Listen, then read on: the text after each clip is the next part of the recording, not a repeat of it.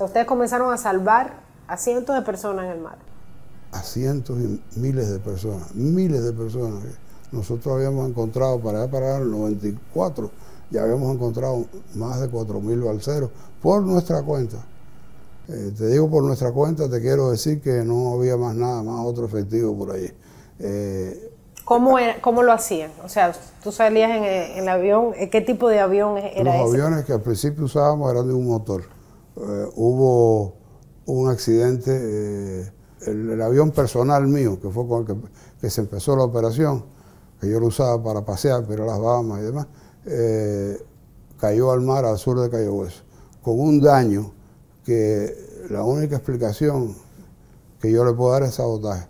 Una línea cortada donde se salió el aceite y el avión eh, cayó al mar al sur de Cayo Hueso. Afortunadamente se salvaron todos, habían